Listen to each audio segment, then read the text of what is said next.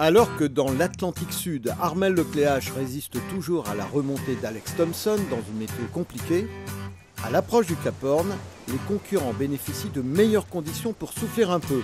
C'est le cas pour les deux Finistériens, Elias et Le Cam, quasiment bord à bord, en grande conversation.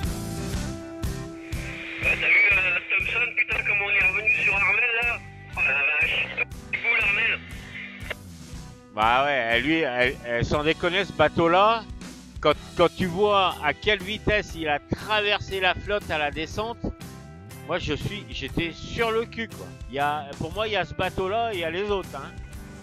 Ouais, ça fait mal au cul. Ouais, bah j'aimerais bien faire un sur un bateau comme ça quoi. Faire un petit dernier euh, sur un bateau qui va vite.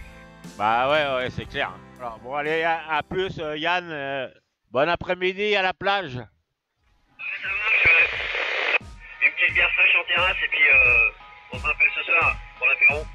Ok, ça marche. Allez, salut. 4800 km plus loin, au cœur du Pacifique, changement d'ambiance pour le néo-zélandais Conrad Coleman, qui a réussi à devancer une énorme tempête australe.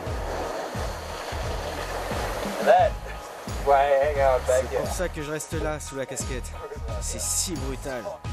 Il fait froid. Si froid.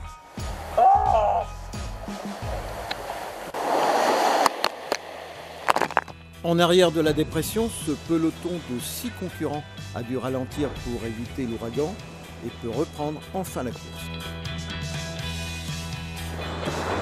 Ça se dégager, mais tout à l'heure, il y avait un espèce de grain, mais euh, de, de chez grain quoi. 43 nœuds, le bateau il part en surf, il y a de l'eau partout. Et là tu te dis mais euh, mais bordel comment ça tient quoi? Donc voilà, euh, Auckland Island. On dit qu'on voit rien sur un Vendée Globe, et on en voit un paquet de choses. hein. Enfin, à noter que Sébastien Destremo a perdu sa dernière place au profit de Peter RMA, handicapé par des problèmes de pilote automatique et d'électronique.